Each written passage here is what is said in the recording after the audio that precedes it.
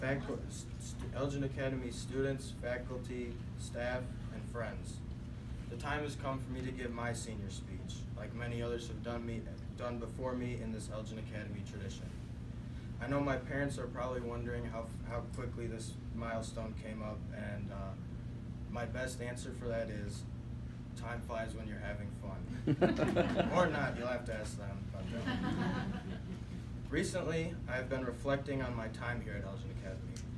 I have been remembering the long, the long-term friendships I've been able to keep despite thousands of miles that separate me and them.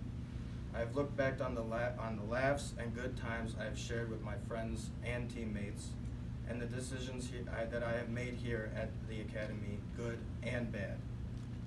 Taking the time to look back, I realize that I have no regrets. These experiences, good and bad, have adequately prepared me for the next chapter of my life that I am eager to explore. So the advice I give to you is this.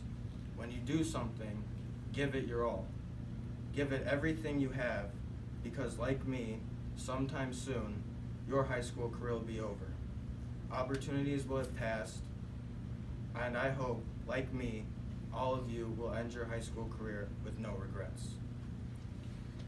Now, as much as like I'd like to take credit for shaping myself into who I am today, uh, that's not true.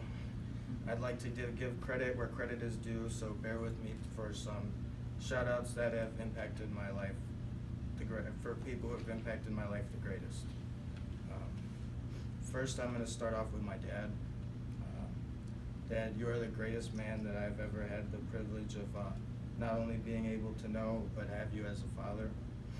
Every day you astonish me with how many things you are involved in.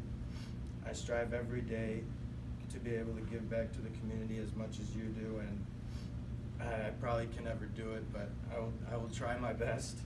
Uh, you have instilled in me the importance of giving back, and I will forever be blessed with that trait. Thank you. And for my mom, uh, you've always been my biggest fan. You still tell me to this day that you think I'm going to end up in the MLB, not true. no one has ever believed in my success as much as you do, and it helped me believe in my own success. Uh, I'd like to give a shout out to Coach Shapiro and the baseball team. Uh, I'm truly blessed to be to be a part of such a great uh, organization where uh, we have fun, win, and uh, it's given me so many great friends and uh, pretty much brothers that I've learned that made through this that program.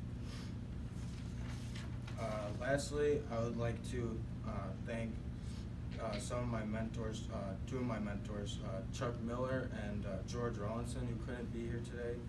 Um, they've known me since I've been about this tall, and they have given me so much wisdom about life and school and so many other things people my age don't don't have the privilege of knowing. And I know I have a leg up when uh, I go out onto my college experience. And for that, I am truly thankful and blessed to have you in my life. And um, I'm proud to consider you two both family. And